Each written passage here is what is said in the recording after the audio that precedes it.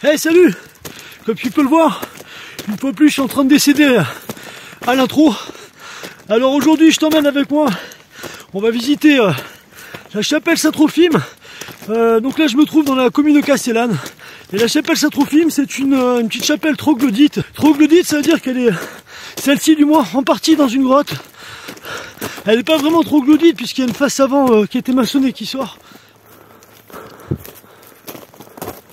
Voilà, je me trouve au pied de, la chapelle. Est-ce que j'ai bien compris euh, On passe en bord de falaise avec juste une petite corde pour se tenir? Doucement.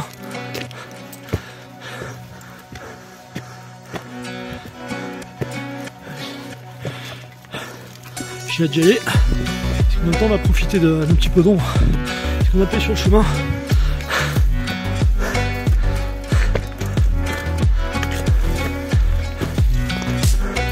Bon, ça va, c'était pas si ardu que ça. Ben, on est arrivé. Et bien voilà, je te présente la chapelle Saint-Trophime. Chapelle troglodyte.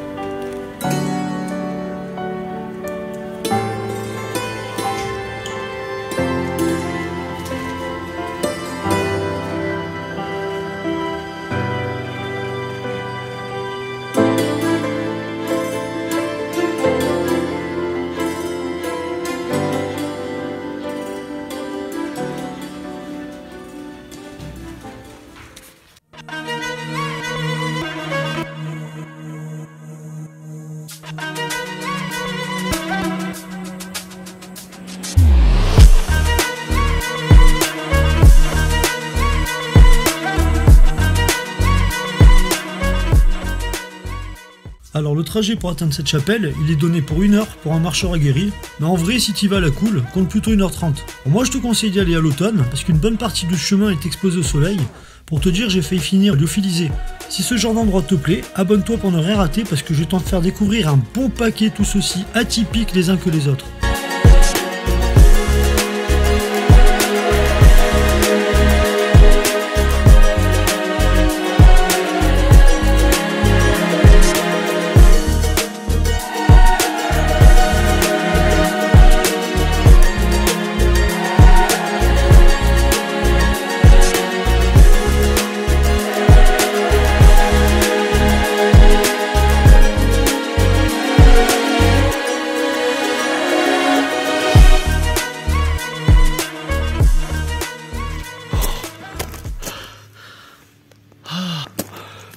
Par contre, une chose, l'explorateur ne sent jamais la transpi.